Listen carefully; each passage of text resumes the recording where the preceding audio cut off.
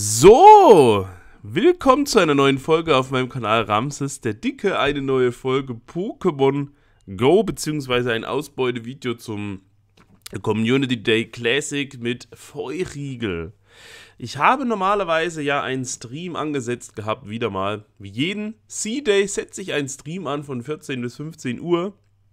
Bin dann eine Stunde unterwegs mit Pupsi. Wir machen unsere Challenge immer. Wer fängt das erste Shiny? Wer fängt das letzte Shiny?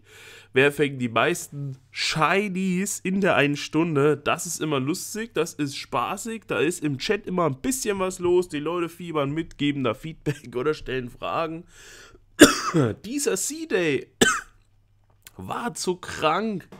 Dieser C-Day war zu krank. Und wer jetzt denkt, was? Heftige, fette Ausbeute oder sowas erwartet. Nein, ich habe den Stream abgesagt, weil es hat einfach absolut gar nichts gepasst. Die ganze Woche ist man schon unterwegs, rennt rum zum Arzt, zum Kinderarzt mit Jonas, Schnupfen, Husten, Fieber, Ohren entzündet, Hals entzündet, inhalieren, der quält sich wie die Sau, Fieber mit 40,1 irgendwo reingedrückt bekommen, äh, Zäpfchen in den Po, Mexiko, richtig brutal und irgendwie nimmt es einen selber, nicht nur, dass man schlaflose Nächte hat wieder mal, man selber merkt plötzlich auch, die Nase ist zu, der Hals ist zu, alles ist zu, alles kaputt, du fühlst dich wie ausgekotzt. Du kannst kaum reden, wenn du früh aufstehst. Im Laufe des Tages verbessert sich das und ja, da eine Stunde rumzulaufen mit dem Handy in der Öffentlichkeit und es zieht und windet und macht und tut und da sie, ey, die ganze Zeit hin und her, das war mir dann einfach zu viel, das war mir too much, zudem Jonas auch die ganze Zeit schon wieder geschlafen hat, Pupsi äh, mit ihm sich gelegt hat, ich auch keinen Bock hatte, dann alleine loszugehen und dann habe ich einfach drauf verzichtet. Ich habe dennoch eine Ausbeute für euch vorbereitet. Ich möchte das trotzdem so machen, wie ich sonst mache. Euch die, ich habe die, hab die Levelaufstiege für euch abgescreent, damit die Leute, die aufgestiegen sind, trotzdem hier gezeigt und gewürdigt werden. Ich äh, kann noch was von den Aufgaben abholen. Ich kann euch die einzelnen Schritte von dem Community Day Ticket zeigen. Danke an, pass auf, danke an Henry Nicky. Der hat mir nämlich das Ticket für diesen C-Day geschenkt. Während ich sonst also drei Stunden unterwegs bin und immer alles fange in der einen Stunde, was mir vor die Flinte kommt, habe ich wirklich nur so viel Feuriegel jetzt fix gemacht, dass die für die Aufgabe zählen. Ich bin jetzt noch auf der dritten von vierten Seite, weil auf der letzten ist nur Belohnung abholen. Das heißt, ich habe 15 für die erste, 15 für die zweite, 15 für die dritte, wahrscheinlich nur 45 Vollriegel gerade gefangen und jetzt direkt ins Ausbeutevideo reingestürzt. So, jetzt gehe ich aber mal kurz rüber und zeige euch, was ich abgescreent habe. Lande 5 gute Würfe. Fange 15 Feuerriegel, verwende 10 Power-Ups bei Pokémon das war die Seite 1. Die habe ich kurz abgescreen. Dann habe ich die Levelaufstiege gemacht. Habe gesehen, ich bin mit Henry Niki Glücksfreund geworden. Was für ein Zufall. Er hat mir doch das C-Day-Ticket geschenkt. Ist sogar noch glücklich mit mir heute geworden. Und dann kam Levelaufstiege rein. Paps Hegi. Beste Freunde. Ninel. Hyperfreunde. Gomchi.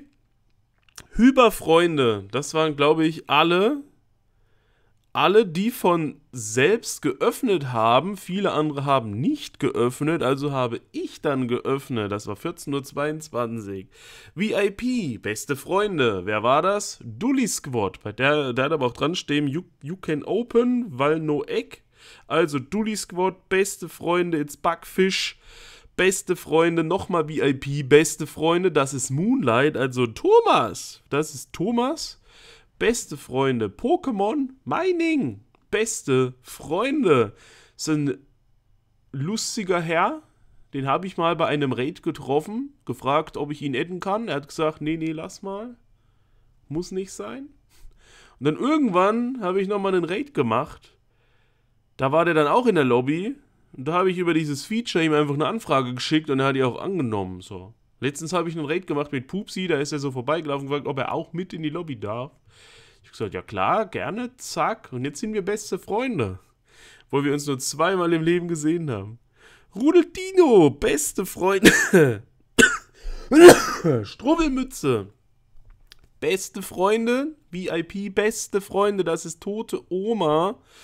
Baumenten, Hyperfreunde, Himmel mit P, Hyperfreunde, Leon, Hyperfreunde, Pogo for Future, Hyperfreunde. Viele Leute, die da mit VIP gekennzeichnet sind im Spitznamen, sind Leute, die mir schon mal in-game ein Ticket gegiftet haben. Habe ich nämlich gedacht, die Leute, die halt Geld ausgeben dafür, dass ich eine Forschung kriege, die ich verfilmen muss, um die euch zu zeigen, das sind VIPs, weil die sorgen dafür, dass Videos kommen über die Forschungen, die ihr nicht habt, wenn ihr kein Ticket habt.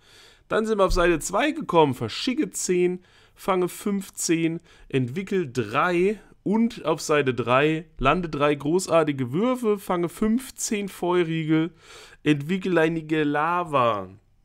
Da müsste ich jetzt aktuell sein, wenn ich rübergehe und hier mal schau auf Seite 3. So, entwickel ein Igelava. Das wollen wir jetzt mal machen, denn ich habe, wie ihr seht, sogar ein Shiny bekommen. Ich will mal ganz kurz Alter 0. Oh, die Konzentration. Und Feuriegel. Das heißt, ich habe jetzt noch 40 Feuriegel auf der Hand. 10 musste ich ja verschicken, irgendwas. Ein Shiny ist dabei. Dieses eine Shiny möchten wir jetzt bewerten. Null Sterne. Null Sterne. Da brennt nix. Das werden wir jetzt für die Aufgabe einmal durchentwickeln, dass wir die Aufgabe fertig haben, weil das ist wie der allererste C-Day, den ich je hatte. Der allererste C-Day war damals mit Pikachu und ich habe in den drei Stunden Log-Modulen ein Shiny Pikachu bekommen. Bei Dratini auch in drei Stunden ein Shiny Dratini bekommen. ein Bikini bekommen, genau. Und jetzt am Feuriegel C-Day auch. Ja gut, nicht in drei Stunden, aber in halt ein paar Minuten. In, äh, in 20 Minuten oder was weiß ich, keine Ahnung, was das war ein Shiny bekommen. Und das ist jetzt extra für die Aufgabe. Das ist mit Lohe Kanonade. Das hat null Sterne. Jetzt gehen wir wieder rein, holen hier nochmal Bonbons ab, haben hier noch eine Begegnung wieder mit Feuriegel. Das hat 398. Ich weiß leider die, ähm, den, den, den Wert nicht aus der Aufgabe. Das hat drei Sterne, das ist okay. Ich hatte mir hier aber eins markiert. Das hat äh, drei Sterne, das ist ein 98er. Das habe ich mitgekriegt noch, ein 98er. Das könnte man ja vielleicht auch mal durchentwickeln, aber muss man eigentlich auch nicht. Also,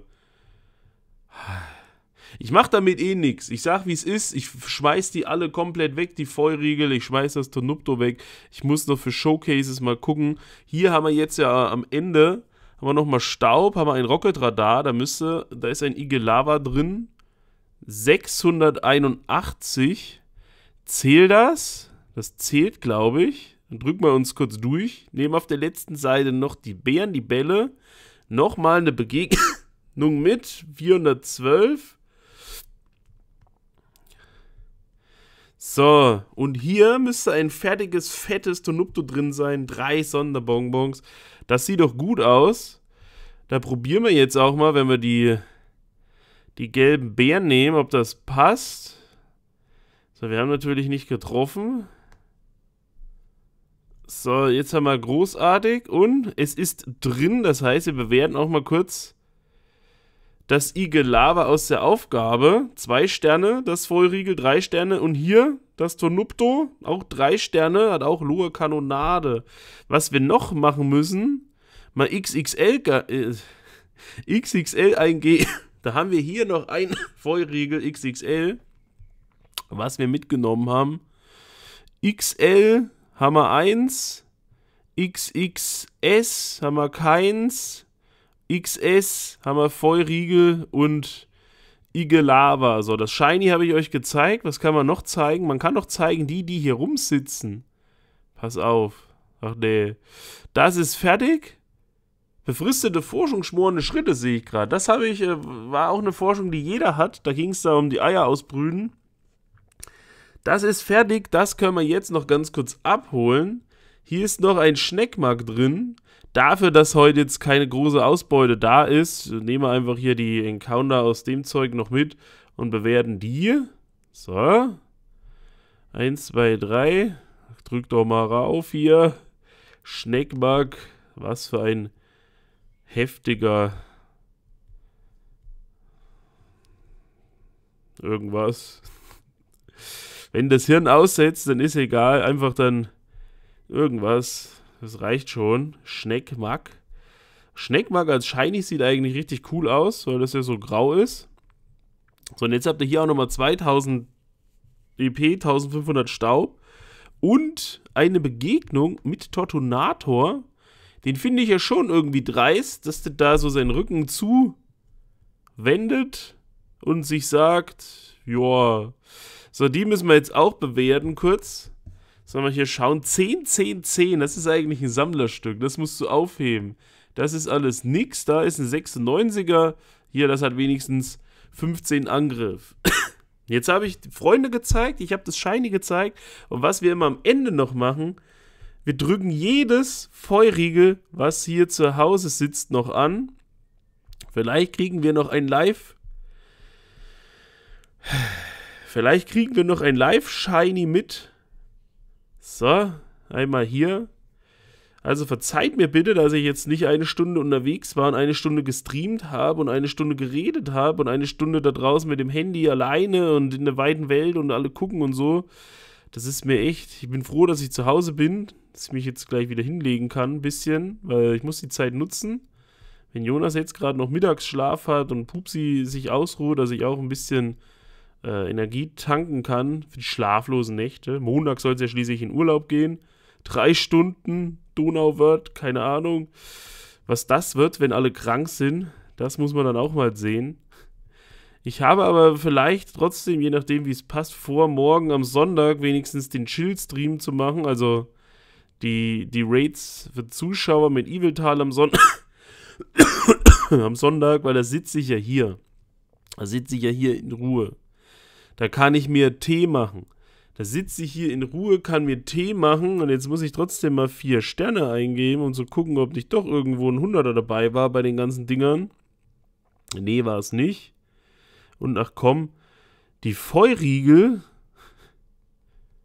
Ah, den kann ich auch nicht wegwerfen. Ich muss ja noch für ein Showcase. Aber wo ist denn hier das eine Ding da? Das war ein 98er. Ist es das? Das war ein 98er. Komm, wir entwickeln das jetzt aus Spaß einfach trotzdem nochmal durch. Also, obwohl ich heute jetzt nicht eine Stunde unterwegs gestreamt habe und draußen war, möchte ich für euch trotzdem dieses Video an dem Samstag hochladen. Mein Sonntagsvideo verschiebe ich auf Montag. Das Montagsvideo verschiebe ich auf Montag die Woche danach. Und würde am Sonntag vielleicht trotzdem Raids für Zuschauer machen. Einfach entspannt hier sitzen. Mit einem Bottich Tee. Einfach nochmal Tschüss sagen, bevor man Montag dann in den Urlaub versklavt wird, so ungefähr. Jetzt ist es 14.56 Uhr. Vielleicht schaffe ich das sogar bis 15 Uhr noch hochzuladen oder auch nicht. Dankeschön an Henry Niki auf jeden Fall für das Ticket. 1, 2, 3, 5. Hat nicht geklappt. Hätte eine 4 sein müssen. Das war die Ausbeute. Das war ein Shiny beim Feuriegel Community Day Classic. Das waren die Aufgaben. Ich hoffe, das war okay, dass die Leute, die da gelevelt haben, wenigstens auch angezeigt wurden. Äh, dass die nicht da untergehen. Muss ich mal gucken, wie ich es mache. Schreibt mal rein, wie war eure Ausbeute? Wie lange habt ihr gespielt? Was habt ihr gefangen? Waren Hunderter dabei? Waren Shinies dabei? Wie viele Shinies waren dabei? Habt ihr Chinesen gefangen? Genau, schreibt es mal in die Kommentare. Das war's von meiner Seite aus. Wir sehen uns beim nächsten Mal wieder. Bis dahin. Peace out, Vorhaut. Euer Ramses.